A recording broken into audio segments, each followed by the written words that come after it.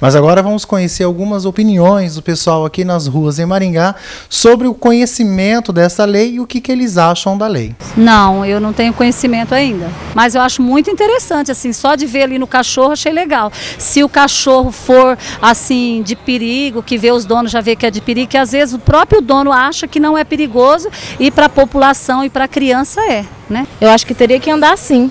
Você acha que essa lei vai ser vigorada aqui em Maringá? Pode até ser que vigore, mas ou um ou outro vai andar sem focinheira. Curitiba essa lei já funciona. Agora sim. Já vigora. Já vigora. E o que, que vocês acham dessa lei? Eu acho que é importante, né? Um animal desse tamanho andando na rua sem focinheira, eu morro de medo. E você acha que Maringá vai seguir o mesmo exemplo de Curitiba? Vai ser vigorada essa lei? Com certeza, Maringá é uma cidade exemplo. Em janeiro foi assinada uma lei em Maringá onde obriga os cães de grandes portes ou aqueles considerados agressivos a estar usando focinheira para passear em vias públicas. Você tem conhecimento sobre essa lei? Tenho, tenho muito. Você gostaria de estar andando com uma focinheira na cara?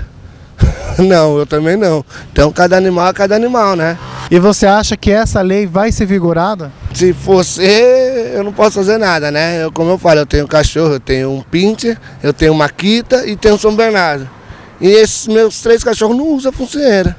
E morde, se pular no quintal de casa, morde, morde feio.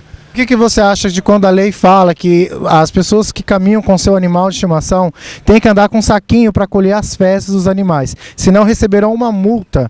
O que, que você acha sobre isso? Uma boa ideia, é bom para manter a cidade limpa, né? Mas não é só o animal que suja a cidade, né? E não perca no programa de amanhã qual será o animalzinho do artista dessa semana. Será que nós iremos descobrir junto o animalzinho do artista da semana? Eu fico te esperando até amanhã.